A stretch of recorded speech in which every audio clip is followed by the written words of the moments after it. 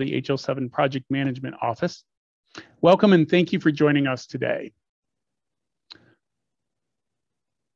Today, we'll have a panel discussion on state implementation of Patient Access API. And it's brought to you by Kelly Taylor, Micah Jones, and Kin Lane. Kelly, are you ready to begin? Hey, thanks, Dave. Uh, hello, everybody. Uh, welcome to the session. Uh, looking forward to talking to everybody. Um, I just put a couple of links in the chat, and um, please feel free to kind of raise your hand, ask questions. We have a, a, bunch of fun stuff to talk about, but we can keep it super informal and and uh, Q and A like if if people want. Um, so my name is Kelly. I'm the director of a team called the Colorado Digital Service. It's this small team of nerds, uh, engineers, designers, product managers uh, that work for Governor Polis here in Colorado on a couple of different things, and one of those is is the the Medicaid APIs. Um, the last couple of years, um, I ended up in DC at the U.S. Digital Service, where in all my work there was with the Centers for Medicare and Medicaid. And while I was there, I, I had a chance to work with some of the awesome people here I recognize, like Dave Hill and Mark Scrimshire and and uh, Carl Davis and others on the CMS Medicare um, Blue Button API and roll that out. And it was this amazing experience and i learned a ton about FHIR resources and um, you know how healthcare developers want to consume claims data. And um, also while i was there i got to work on the cms interoperability rule. And um, after that experience I, I, moved back to colorado to start this team and um, now i'm on the other side of the table where the you know as part of the medicaid team uh, we are now you know required to implement this rule. Um, so it's been this really interesting kind of journey through explanation of benefit resource and, and coverage resource and other things. And, uh, and, you know, kind of while I was going through that experience, um, I had a chance to hang out a little bit with one of my old friends, Kin Lane, uh, API evangelist. And uh, Kin and I had this wonderful meeting in, in um, Baltimore where we were talking all about, you know, open API and FHIR standards. So Kin, can you say a quick hello? Sure. Hello. Thanks for having me, Kelly. Uh, yeah, that was a, I would say that was kind of halfway through my journey, my exposure with FHIR. So I was er, introduced early on. Um, I was worked for the Obama administration at Department of Veterans Affairs. But while I was there working on on healthcare standards, I went over to uh, Health and Human Services, and I was getting an early look at what was going to happen and so I had my finger on the pulse for a while, but I mean, to be honest, I really didn't feel like it was going to go anywhere. I follow a lot of standards bodies, and early on, I just didn't see the industry nod that that I normally see when it comes to these. And then about the time we met, you know, I started seeing more momentum occurring, and it was really good. You know, it energized me in my my view of it to to meet your team and then uh, we just kind of continued to work after that. And I had you guys out to API strategy and practice our conference uh, talking about it. And, um, and then, you know, I started seeing vendors uh, talking more about it, about FHIR and, and what was happening. And then now with, with, with the CMS rules, it's, uh, it's definitely not only is there momentum, but I think we're we're really setting the stage to to be a leader in the world when it comes to not just healthcare, but but API standards as well. And, and Kin talks a lot about the parallels with banking to across Europe, which, which is super interesting. We'll talk a little bit about later. And, and um, so as I as I came back to Denver from from that amazing adventure in DC, I started hanging out with my buddy Micah, and Micah is is a Medicaid IT expert, lawyer, technologist, all the things, and and uh, so Micah leads up our the state of Colorado's implementation of the CMS interoperability and patient access rule here. And so Micah has really had the, had a chance to kind of consume the rule and, and really start to think through, you know, how to actually build this. And um, so Micah, um, first of all, hello, good to see you again for the millionth time virtually this week. And um, you know, so this is going to be one of the first publicly facing APIs that the state of Colorado has. It'll be the first one, I think, from Medicaid. Um, so can you tell us a little bit about the CMS interoperability rule and what it means for states? Sure. Thanks, Kelly. And thanks for having me today. I'm honored to be here on this panel and talking with um, all, all the people listening today and watching us today. Um, hopefully you can learn a little bit about the perspective of states um, and what it is that we're dealing with and how um, at least one state, Colorado, is approaching our implementation um, to um, the, the CMS interoperability rule and what that means uh, for the long term and the direction that states are possibly going to go. So, as Kelly was saying, my name is Micah Jones. I'm with the Colorado Department of Healthcare Policy and Financing, and we administer the Medicaid and the CHIP programs. Um, a little bit about myself I've been working in health IT for about four years now, so I'm a bit of a newbie. I am a lawyer. I came to Colorado Medicaid from private practice, where I was actually representing um, healthcare facilities, skilled nursing facilities, um, you know, helping them get their get their Medicaid uh, payments if there's a disallowance, helping with mergers and acquisitions. I also dabbled a little bit in in health IT as well, um, a little mostly privacy and security, thinking about um, personal health records and whatnot. And when I made my way to the Medicaid agency, I actually started out working with um, Medicaid members who are at the intersection of the jails program. So jails and homelessness. After Medicaid was expanded, that um, made Medicaid available to adults without dependent children, and that allowed people um, who were in corrections to be eligible for the Medicaid program and homeless folks as well. Um, and so we were doing like a lot of really interesting um, activities with that, including trying to get their their data and criminogenic data into our systems for greater care coordination. That's really what got me started down the down the road of health IT, working on that. So from there, I eventually moved on to be the program manager of Colorado's EHR incentive program. So I got the opportunity to work with our electronic health records um, in our state and um, ho eligible hospitals and eligible providers that are using the major vendors in Colorado. It also gave me the opportunity to work with Colorado's two health information exchanges. Those are CORHIO and the Quality Health Network. Um, Colorado has um, an overall uh, health IT ecosystem that is centered around our HIE. So that's something that's very important as we talk about um, the interoperability rule and APIs. Um, we're very HIE based, uh, especially for our clinical data. Um, and then we also have other agencies in the state as well, um, specifically uh, in, within the governor's office, which is the Office of eHealth Innovation, which uh, coordinates public and private sector health IT initiatives and coordinates initiatives across agencies as well. So the interoperability rule work that I'm doing today um, is possibly going to have implications for the overall healthcare community in Colorado. Medicaid really is just going to be the jumping off point for that.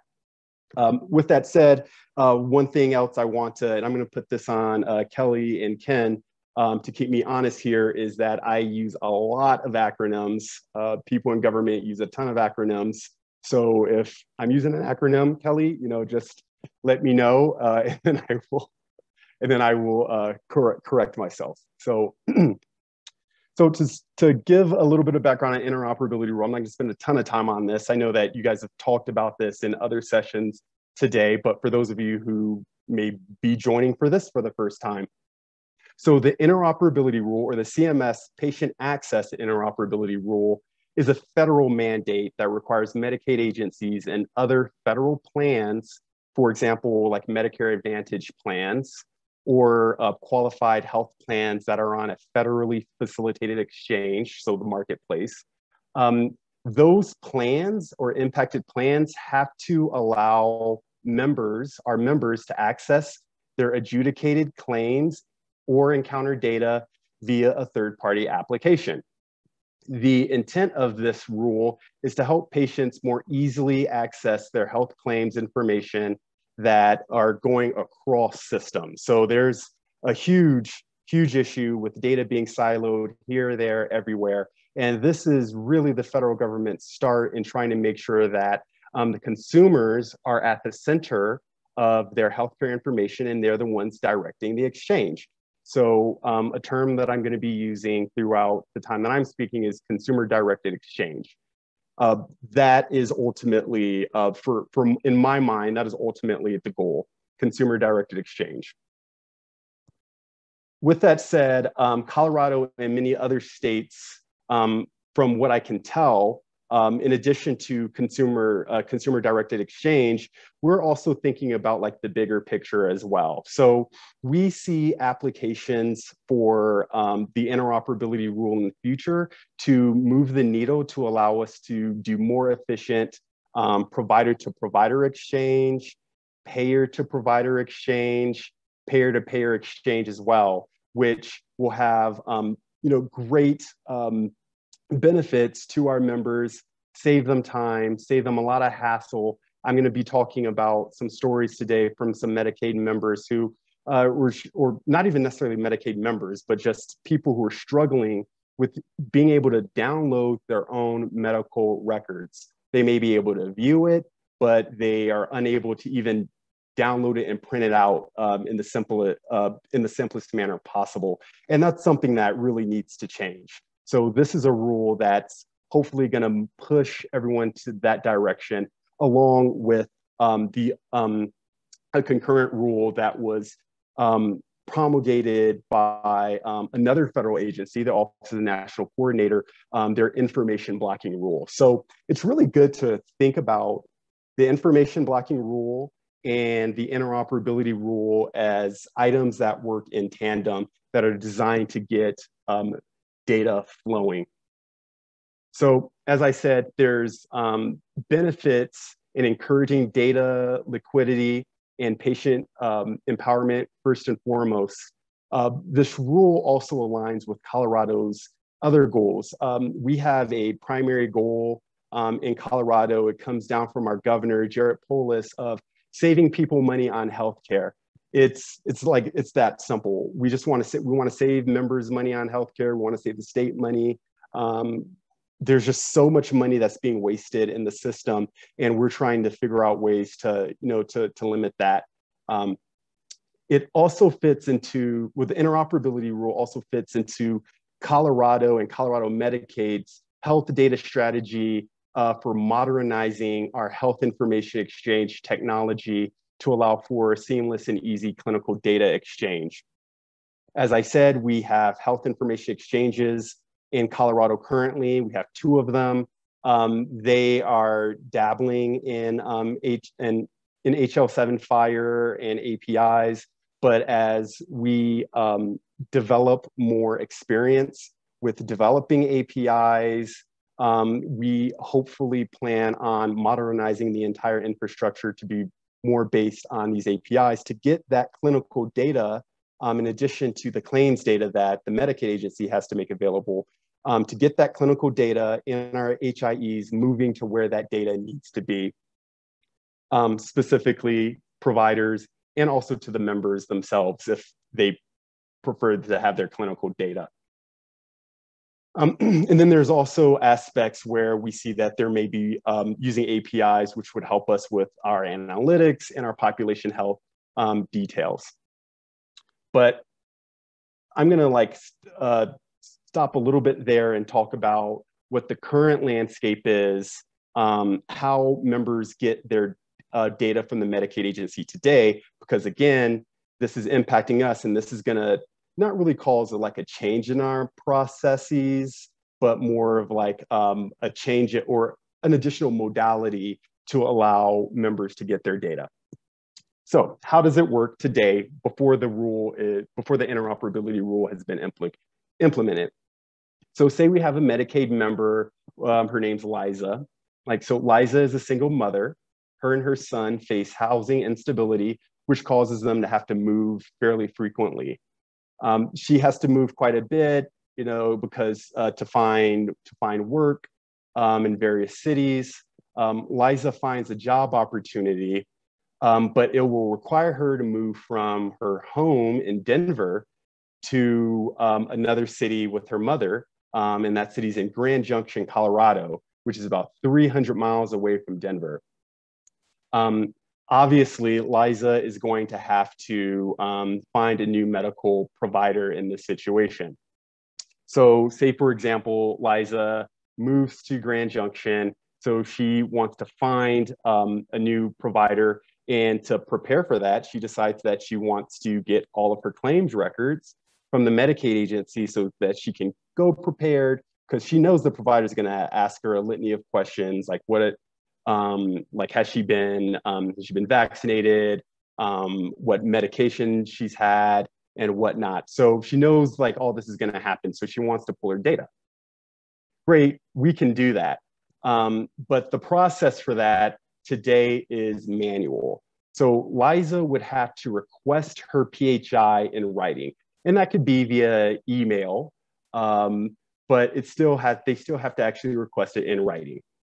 That request um, eventually goes to the agency's privacy officer who is the one that actually processes the request. So the privacy officer is going to have to verify Liza's identity, obviously. And after Liza has been verified, the privacy officer then has 30 days um, to provide Liza um, her data um, in a format that, um, that Liza needs it, um, assuming that all the data is actually in that format.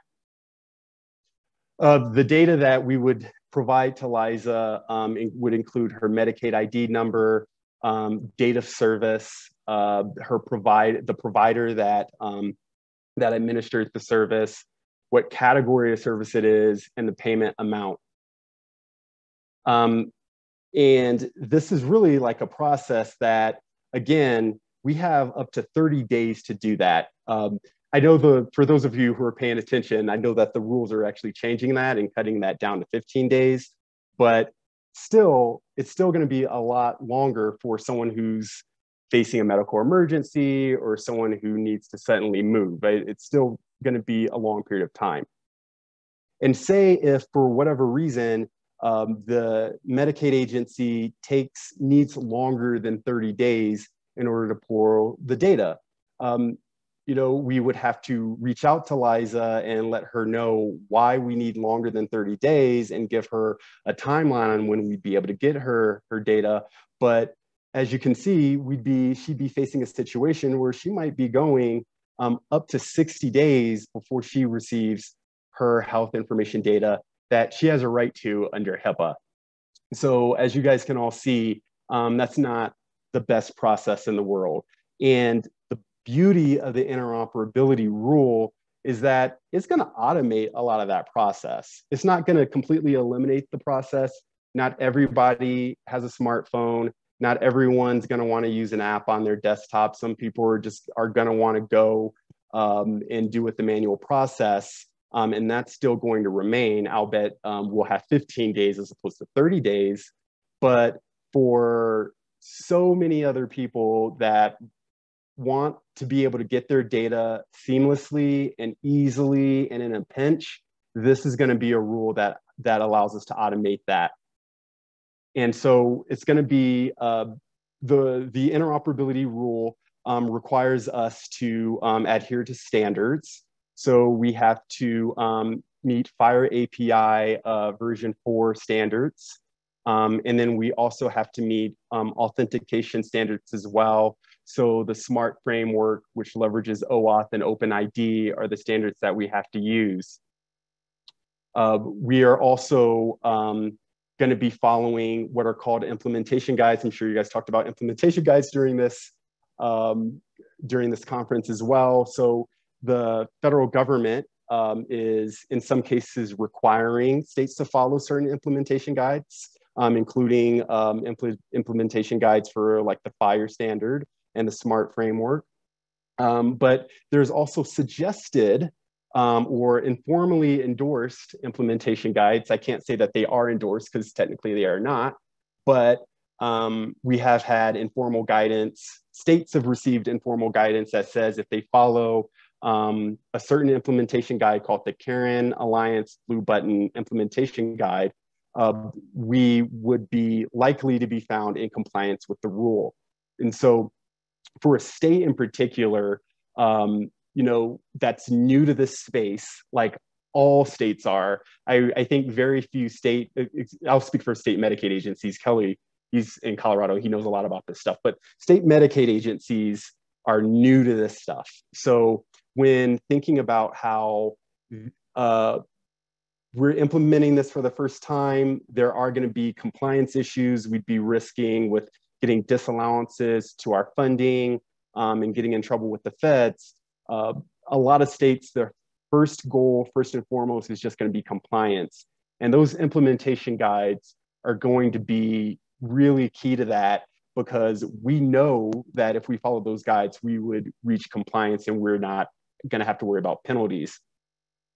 Things that happen on top of that, on top of the implementation guides, um, are also going to occur, um, you know, concurrently, if, depending on the resources of the state um, and uh, and their API strategy, if they have one, or maybe even after uh, the initial compliance uh, with the rule. So with all that being said, so again, this is going to open up the door for more consumer-driven exchange. Uh, and to repeat, the federal vision is for healthcare consumers to easily direct their claims and encounter information between health plans um, to their provider of their choice through common technology. So we're looking at your smartphones, your home computers, laptops, tablets. Um, and again, it's going to be just information. It's mostly going to be like the explanation of benefit um, information that um, any Medicaid member would receive. Uh, you all, like, if, if you have private insurance, your private insurance provides you an explanation of benefits. Oftentimes, they may mail it to you. They might provide it in email through uh, through a portal. Uh, but in Colorado, um, our explanation of benefits is going to be made available through this API. Um, before uh, pitch, pitching it back on to Kelly, I do want to talk a little bit about how Colorado got to where we currently are with the with our implementation of the rule. So we've been working on implementing this rule for quite some time now. We've been thinking about it for about two years since it was a proposed rule.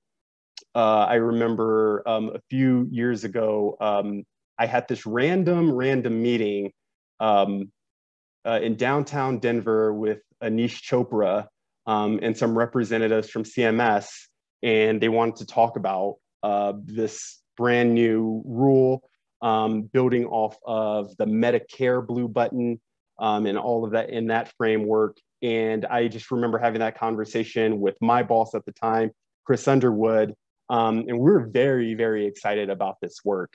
Um, one of the reasons why we're so excited about it is because we've been thinking about patient engagement and patient empowerment for quite some time. In fact, at the time, one of the projects that I was spearheading was working on a Medicaid personal health record. Um, particularly at this time, personal health records were kind of already on their way on the outs because it's a portal um, and the federal government was moving away from funding portals and moving towards standards and APIs. So the with our conversations with Aneesh and the Centers for Medicare and Medicaid Services, also known as CMS, um, you know, we saw this as an opportunity to allow us to pivot from a PHR, personal health record portal, to doing something that is innovative, um, and really meets people where they are. And for me personally, I think that that is one of the the coolest things about this rule is that the the option of allowing people to use the app of their choice means that there's more opportunity to meet people where they are. And I really think that that is the key um, to empowerment. So we started thinking about, we started after our conversations with Aneesh, um, and the and the proposed initial proposed rule came out, we immediately started thinking about like, okay, how are we going to implement this? We're not familiar with APIs. We're we're new to APIs. Um, there are other folks in the state that can help us, like Kelly. Um, has like great information, and Kelly is able to connect us to with uh, folks like Kin, um, who who are a wealth of knowledge. But one of the things that we had to think about as a state is we had to think about who currently has our data, where is our data currently warehoused, and what we could do with our with our existing vendors. So we had to map out. We ended up mapping out like this initial framework um, that was it was incredibly uh, federated, and it was just this really uh, cumbersome model that um, over time, as we vetted it over time, um, we focused on alternatives and thinking about how we could streamline this um, model to make it simpler. Um, and long story short, it took us about a year um, in order to reformulate like what we think our architecture um, should look like. So I say that to you to also put it in perspective that um, again, that this is something that's new for states, and we're really figuring all of this stuff out um, as we go, uh, leveraging as much as many resources as we can with Kelly, Kin, um, our federal partners at the Centers for Medicare and Medicaid Services, and Aneesh. So um, with that said, you know, if you guys are, you know, working with states, reaching out to states, you know, I just want you to be aware that they're in various different stages of their implementations. Colorado, we were very early, but we're still not as far along as we thought we would be back then, um, again, because this stuff is new. Um, but with that said, um, today we are um, on track to um, have an implementation, um, hopefully a, a, full implementation, hopefully like really soon and we're very excited for the potential of these APIs and to see how this moves the needle. And we're, and we're also excited about the future APIs that we think are going to springboard um, from this work. So um, with that said, I think I rambled on for long enough. Kelly, back to you. Thank you, Mike. I, I, was hoping to get that that story from you of, of, just the journey and just to give everybody kind of a sense of how things unfold in state government you know, in Colorado, we have um, our state Medicaid agency that Micah was talking about that pays claims, but we also have seven other, you know, managed Medicaid um, companies in, in, Colorado. So depending on where you are in Colorado, like you're signing up and, and getting serviced by a different company. And so just in Colorado now, we're like a mid-sized state. There's eight different potential developer experiences, developer portals, right? now times that by 50 and like what's happening in California and these are huge states. Like, so we've been thinking a lot about um, the developer experience for Colorado. Like we just stood up developer.colorado.gov for the first time. And it just like redirects to kind of this basic MuleSoft portal. Like we, we have a couple people that are really good at building APIs here, but that's pretty much it, you know, and, and the way we look at it is APIs is really the next huge chapter of GovTech, where the last you know five years or so has been all about building digital services and and digitizing things that used to be paper in person. This next chapter is government as the data holder, building APIs to unlock a lot of this data, uh, uh, in not just health data, but all sorts of different domains. And um, so I've been talking to Kin a lot about, um, you know, just the use of standards and the importance of that. Um, in this rule. And also you know what it's like for a developer. So if you're if you're a company that has a product that serves medicaid members across the united states are you about to go to like hundreds of developer portals and sign up for an account and sandbox and do all that stuff or, or what's going to happen there? So Kin, maybe talk for a few minutes just uh, about the Open API initiative and some of the standards work you've been you've been working on, and just kind of your your, your general you know advice or, or, opinions about what states should be thinking about when it comes to developer experience and kind of what to expect.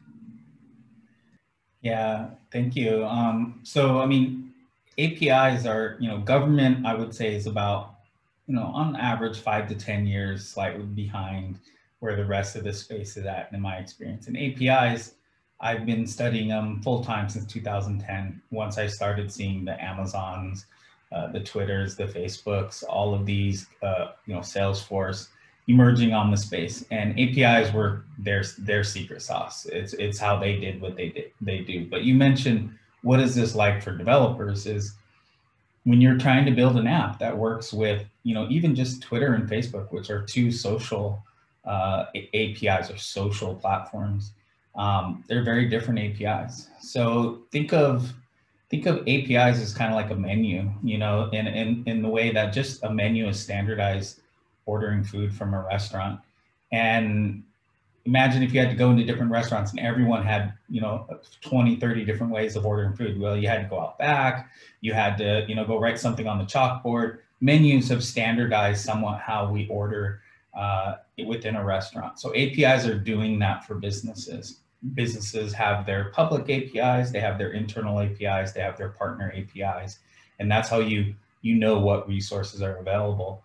But eh, there's still many different types of APIs. So what we're seeing across industries is the standardization of those those menus, so that you have appetizer, you have entree, you have kind of standard groupings, naming and ordering.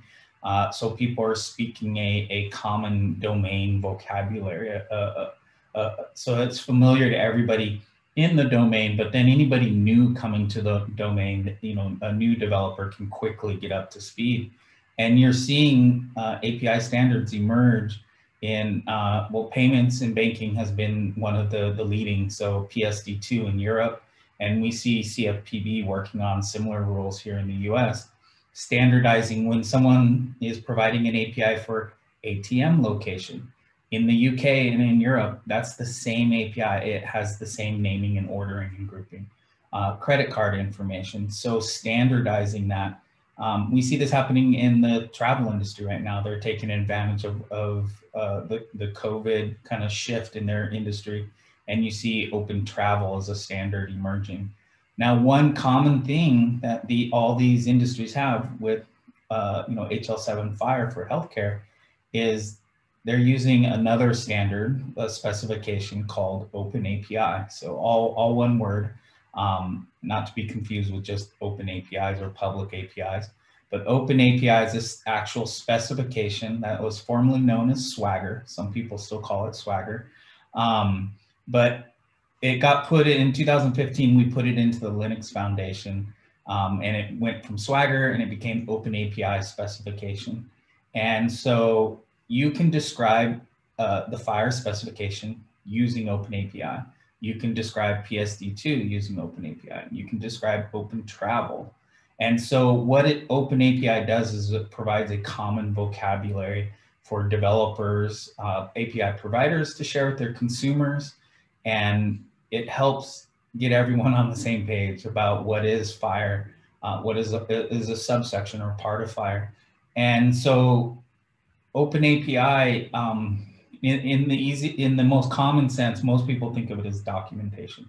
It's how you document your API, but it really is so much more than that. And for, uh, for or, organizations looking to do APIs that don't understand APIs and don't understand developers' needs, really lean on Open API because it provides A, the documentation for your API, but B, it also provides the ability to create sandboxes, um, virtualized environments with synthetic data so that developers can play with it without worrying about uh, you know, access to PII and PHI.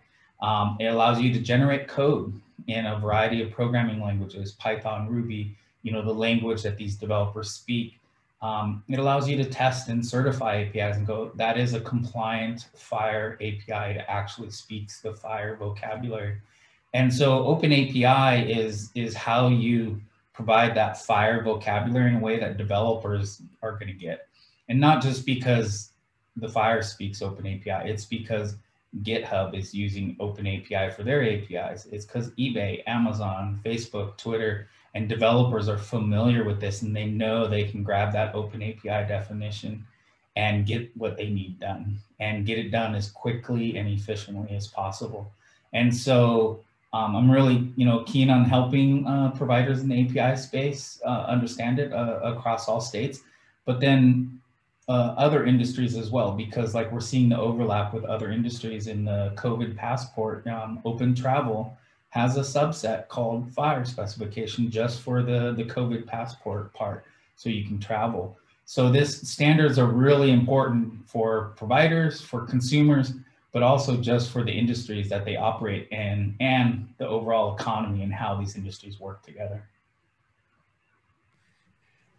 You know, one of the the most interesting things being on the CMS side, working on the rule, um, I was like, oh, you know, it, it wasn't too bad to build the CMS Blue Button API. Like we, you know, we had to map some data and then we had to do a bunch of like marketing and, you know, talking at conferences and really trying to get people to use it and, and all that stuff. And, uh, and the thing I really didn't think through was how this was going to be the first API ever for most states. States don't have developer portals.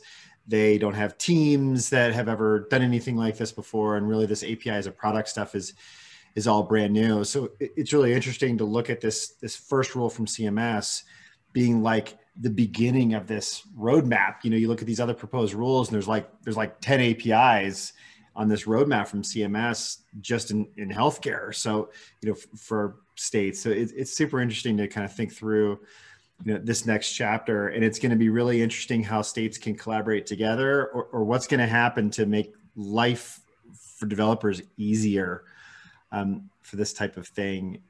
And I, I wanted to, to ask you, Micah, kind of one more thing before we wrap up. And, and by the way, if you have any questions for, for Kin or Micah, you know, go ahead and raise your hand. Um, you know, building the API is one thing. Building the, the developer portal with code samples and you know a developer forum and documentation is one thing. But then with this rule comes like these business processes.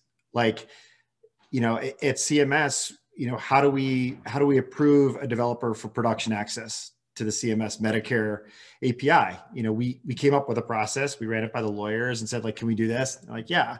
We looked at a bunch of other companies to watch to see what they did, and we kind of modeled it. So now, do we see each state coming up with their own set of business processes and like that stuff? So maybe just talk for a minute. You know, maybe not necessarily too deep in the specifics of each process, but but more like as the state, you know, how do you how do you approach these problems? you know like how do you how do you collaborate and and um, to come up with ways you know path forward for this stuff? Because it, it's it's new and it's it's complicated for states.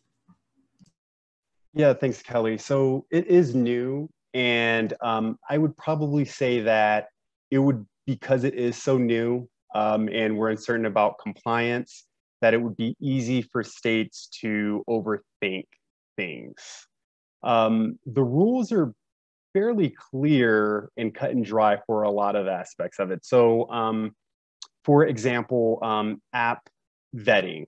Uh, for the most part, the rule does not give states a lot of leeway to reject um, app, app, apps that um, want to connect to our API unless that app would pose a security risk to our overall, our overall systems.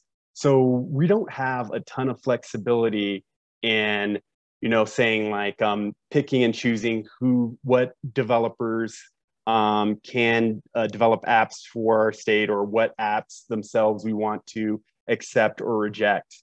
Um, the rules also talk about trust frameworks. So um, third-party app developers are not, are generally not going to be HIPAA covered entities.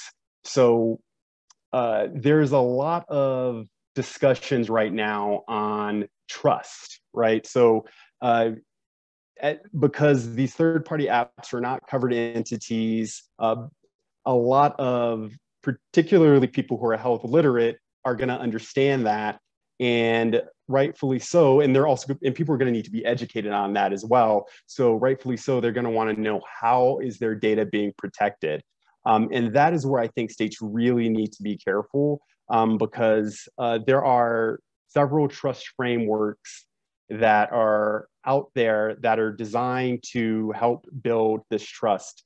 Um, one example of that is the CARIN um, Alliance Trust Framework and Consent, um, which they which is a um, framework that they are promoting to all the states um, to see to get them to adopt um, a standardized uh, consent framework. So that's something that's really important.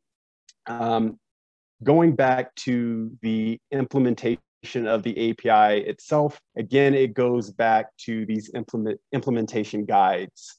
Um, we know that, I know that as long as I follow these implementation guides, that I'm gonna meet compliance. Um, and so that is gonna be first and foremost the documents that I follow. Um, there may be states out there that, you know, um, uh, might want to go above and beyond. They might want to um, not use the implementation guide and achieve compliance um, through other means. Um, that is a risk that's going to be out there. But from what I have seen, I don't think that that's going to be um, a major problem. I do think that states are going to be following these implementation guides. Um, and states are also going to be looking for support in vetting um, and approving um, apps. So again, this is a new space to us. We're not going to be in the best position to review apps. And so we're going to be looking to um, other consultants, other vendors to actually help us with that. Um, and one of the movements that is happening is that as states, um, particularly coalesce around um, a set number of solutions.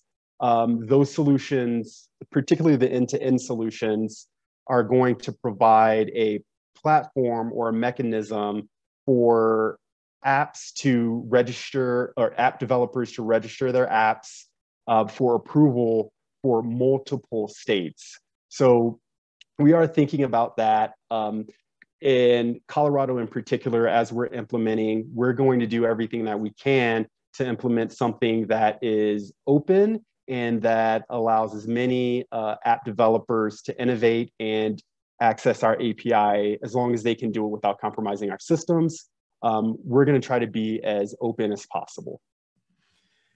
That's such an interesting idea, and it, and you can apply it to all these different domains, right? So as data begins to open in government, do developers have to continue to go to all these different developer portals in every single state or can they can they register once and because of standards it just works in the 33 states that have implemented it this way just out of the box right? I wonder what what type of stuff we see and how that unfolds over the next couple years.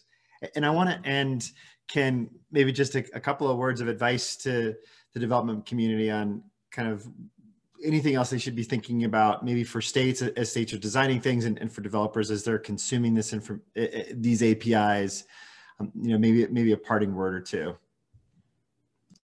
yeah i would say uh, just you know follow the standards bodies. I mean hl7 FHIR but then openapis.org will help you with with understanding the open api community across other industries. And i know you're very focused on on healthcare and, and that's important but definitely you know, spend some time just uh, Googling your favorite uh, thing that you're interested in, plus the word API. You know, if you're into music, search for API, uh, music plus APIs. If, if you're into, you know, geology and rock hounding, search for APIs, mapping, uh, because it really helps you see other things that are relevant and that you care about and that maybe aren't your, your day-to-day job. And you'll start seeing other standards and other patterns. And when it comes to doing portals, documentation, other things. These are common building blocks across all industries, and you can learn a lot from, from the, the cross-pollination. So there's standards that are emerging for city data right now, you know, 311, 211 data, there's standards, and, and that interoperability between cities. And so just, just study what, what's out there. There's a lot, a wealth of knowledge, and, and once you start scratching, I think you'll, you'll find some interesting stuff. Awesome. Well, thanks, Kin. And thanks, Micah, for all your hard work on all of this. And um, thanks to all of you that are building the tooling and, and working on developing the standards. You know, one of my favorite things to do is hang out in the Zulip chat and FHIR and just watch the implementers work. I mean, it's, it's so incredibly impressive and we get to benefit from all of your, your hard work. So thank you for that. And um, with that, I think that's all we have for today. There's a couple of links, like I said, in the, in the session chat of the of the Whova web app um, that can take you kind of along for some further reading. And um, that's that. Thanks, Kin, Micah, and Kelly. Um, just want to remind everyone to rate the session. It is available um, in the session in Whova. There's a button to rate the session, and always uh, check out. Um, I always remind remind the speakers to check the Q and A and chat in Whova because somebody may come up with a question or comment later on. So you those those two areas of Whova are kept um, live for even after the event is over. Thanks, everyone. Have a great day.